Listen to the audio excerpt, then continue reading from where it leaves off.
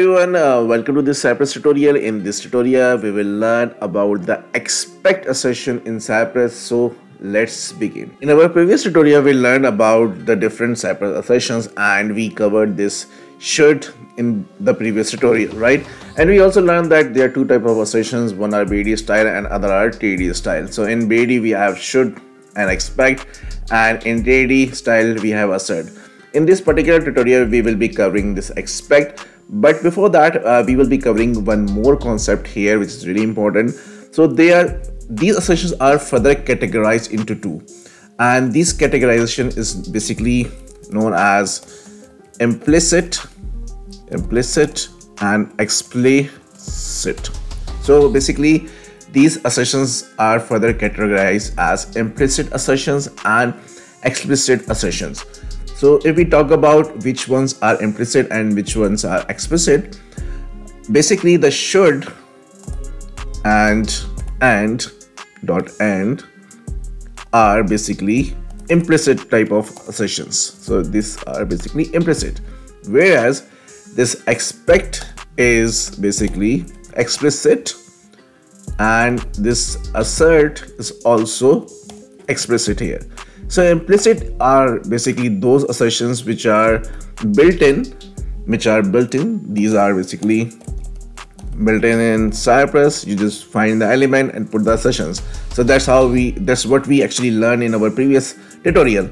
However, in contrast, explicit assertions are those which we have to define on different responses right? Or different kind of a different kind of a data. So different kind of a data here can be basically objects like json objects json objects then we can have arrays right? We have some kind of strings coming from the server from the application. So on this kind of a data we explicitly need to put assertion. These are not built-in assertions. And similarly, here in the case of assert, here we also need to define or assert those objects and arrays or any kind of data and we explicitly need to assert those. These are not built in because in, in short, you know that we just went to the element, we look at the element, we put the assertion and that's done but here the case is different. So now uh, let's open the Visual Studio Code and now let's learn about this expect here. So let me go here and let me create one file here and let me say it as expect assertions.js right?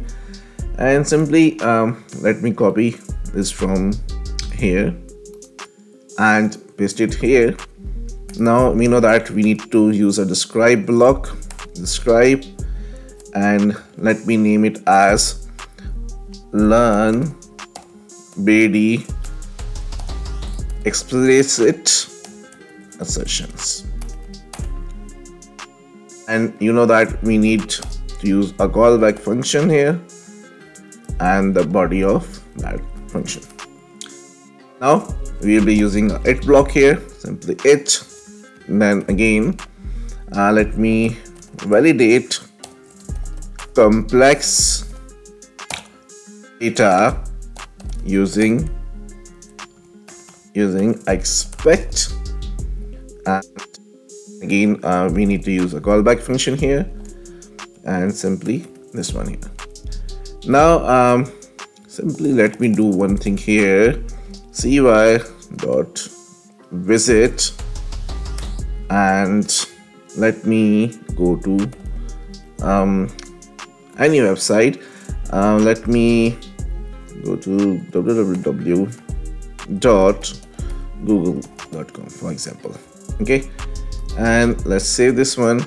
And now let's go here and run this script here before we actually proceed so expect assertions.js and it is taking us to google.com yes it's uh, working fine. We are on the google google.com page and this is a search engine.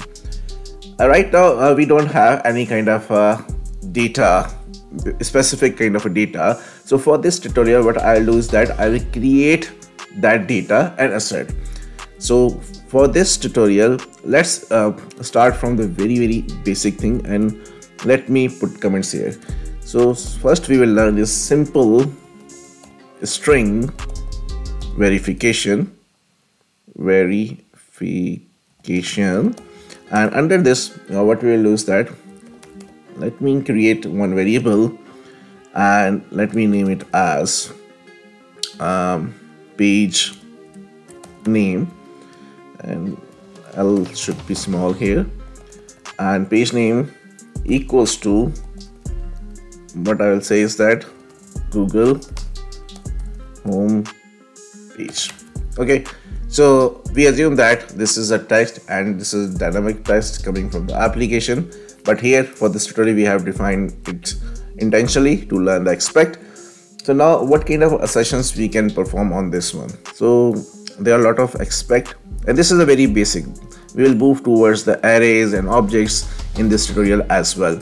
So simply what we are expecting expect and this page name then dot to dot not dot equal. And what we are saying is that this page name which contains the value google home page should not be equal to let's suppose we are saying it as google. Simple as that. Now uh, let me save this one and let's go back here. And yes the assertion here is passed. And you see this expected google homepage to not to equal this google and this is correct. That's why the task has passed. Now uh, let me go back here and let me change it to google homepage here. Now these are actually equal but we are asking cypress that this should not be equal right? So this time it should actually let me do this again and run this one. And this time uh, you see expected google homepage not to equal this one but this is our equal. That's why assertion failed now uh, let me go back here and put the google here. So now this time this will pass. Now uh, what else we can do? Just like if we are checking that our dynamic text or the text coming from the application is not equal to the particular text uh, similarly we can say that this page name dot to be dot equal so this is here. Now let me paste it here. Now this assertion will pass here in this case. And you will see expected google homepage to equal to google homepage. Okay? Now what else we can do? Uh, we can also check that either this home uh, google homepage is string or not. This again really simple. Expect then page name dot to be dot a to be a. And what is to be a? It should be a string. That's it. Save this one. And let's just run this one. And you see expected google homepage to be a string. And yes it's a string. That's why it's passed. Now we can also put more assertions on this one. For example if i want to assert the characters in this particular string. So if i count the characters so these are 1 2 3 4 5 6 7 8 9 10 11 12 13 so they're somewhere around 13 and 14 right? So simply we can assert the length of this string.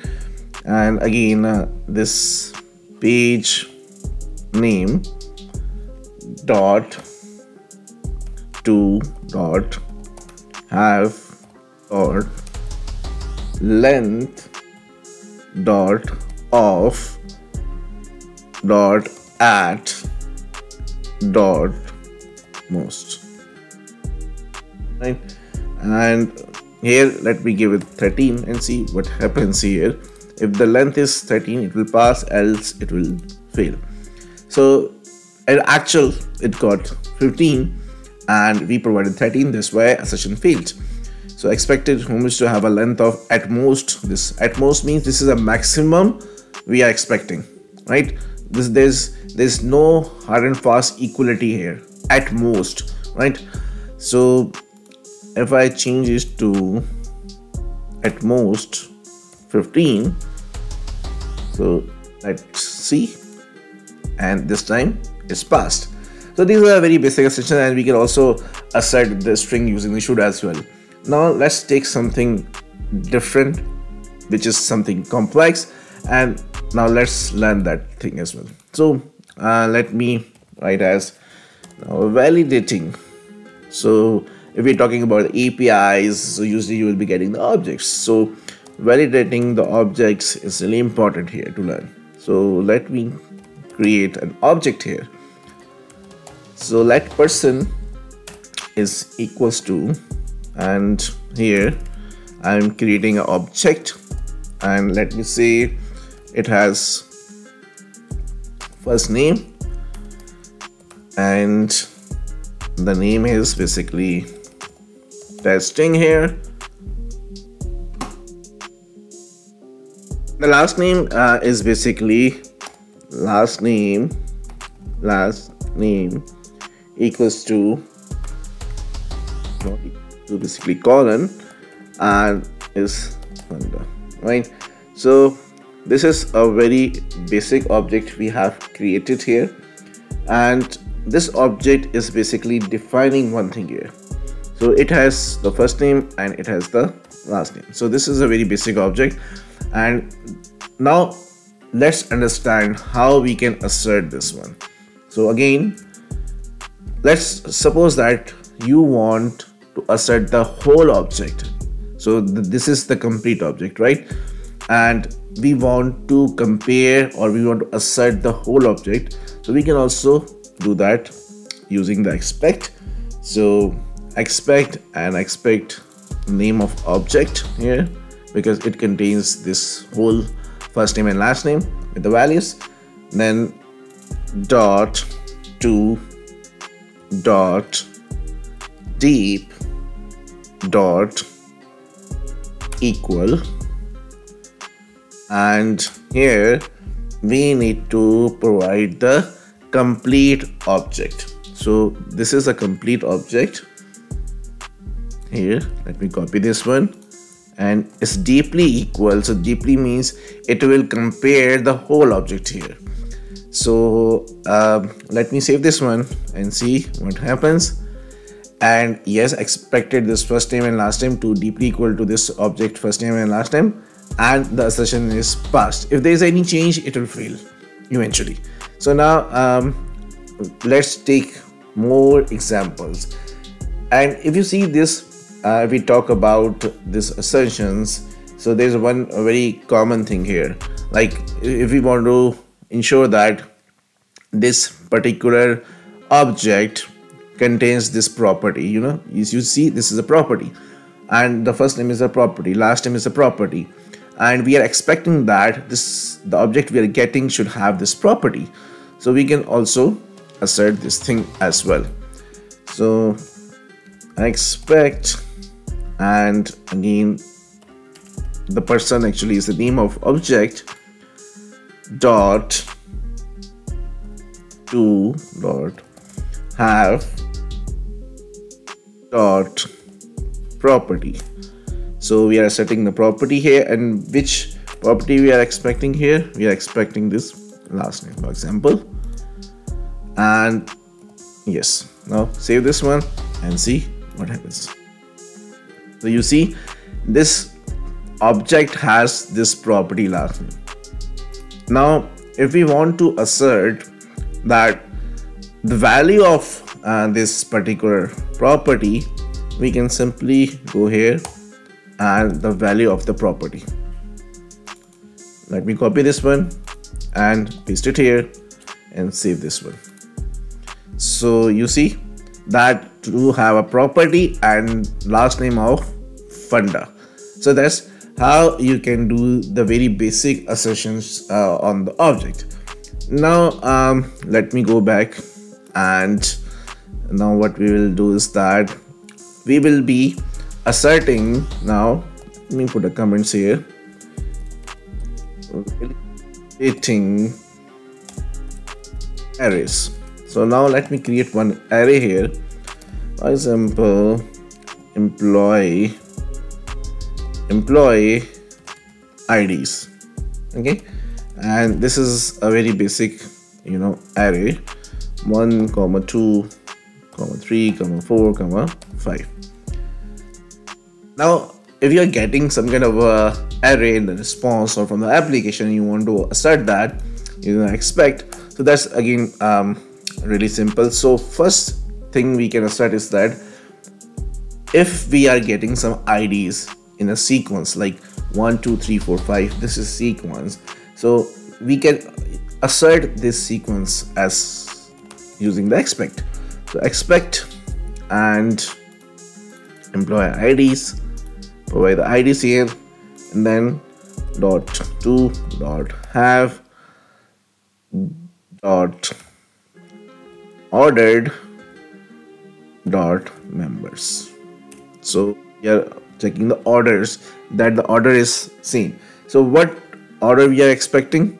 We need to provide the order. For example we are checking that it should be 1 comma 2 comma 3 comma 4 comma 5 now save this one and see. Yes expected to have the same order as this. So we got passed here else we can do uh, for example you have this array right? And you want to check that this array should contains 2 right? So this is our test. Again simply this is very easy. And let me provide name of array here. Dot to dot include. So include will check that either it will contain this or not save this one. Go back here. And you see expected 1 2 3 4 5 array to include this 2 that's why it's passed. If i go here and change it to 6 now this time it will fail. And you will see it will fail. Expected this to have include 6 but this is not present. That's why the assertion got failed here. And let me go back here and let's change it to 2 here and now for example if you want to check that this array contains multiple values right now we checked only one. Like we checked that 2 is should be in the this particular array. But if we say 2 or 3 should be part of this array how we can do this? Again this is really simple here. Expect and employee ids dot 2 dot include dot members. Because this time we are saying that we are not checking the orders. We are not checking the order. We are saying that this array should include these members. Which members?